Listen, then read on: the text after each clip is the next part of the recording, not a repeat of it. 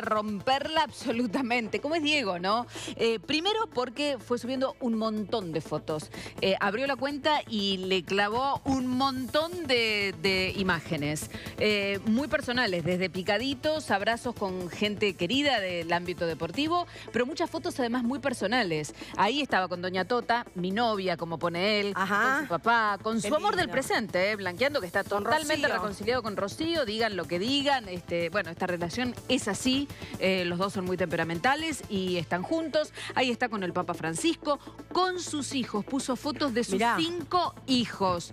Eh, y de cada uno fue poniendo una pequeña... Una pequeña frase, una pequeña dedicatoria. También puso eh, fotos con su nieto, que es su debilidad, con Benja. Y ahí abrió una primera polémica. Ajá. Porque puso una foto de, de Benja con la camiseta de la selección, pero con la camiseta de él, Maradona, el Ah. 10, lógicamente. Y después una foto con la camiseta de Boca. Eh, y recordemos que... El Kun Agüero. Claro, Benja No es, es el hijo de, Claro. Kun.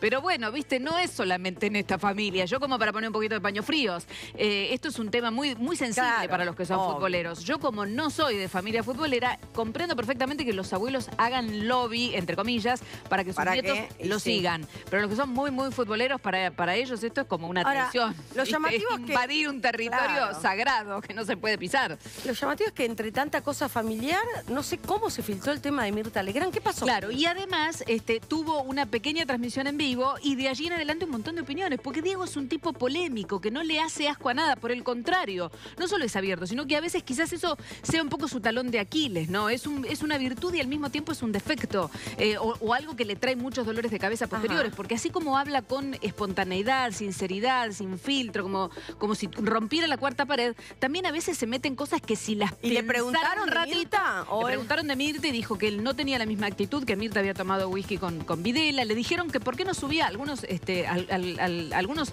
no sé si admiradores, pero personas que estaban allí online le preguntaron por qué no subís alguna de las fotos con Menem, que las tenés. Y él dio una explicación y dijo, no, yo esa foto me la saqué porque a Menem se le había muerto su hijo y bueno, había un tema con la selección que yo salía a bancar porque él en ese momento no respaldaba con la suficiente fuerza, con el suficiente énfasis. Bueno, qué sé yo, temas que él explica desde su óptica. Después habrá este, que hacer, en todo caso, viste, un revival para ver si este, es realmente como él lo planteó, eh, o en todo caso alguna figura este, responderle, contestarle, o sencillamente hacer silencio. Claro, ¿no? o sea Este que el- Mirta, él no iría a ningún almuerzo, ni cena. Pa- me parece que en este momento no. ¿eh?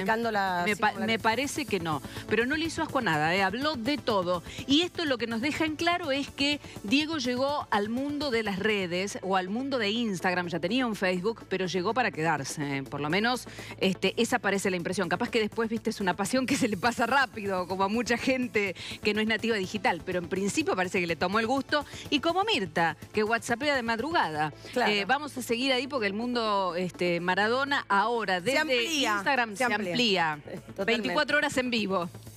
¿Cómo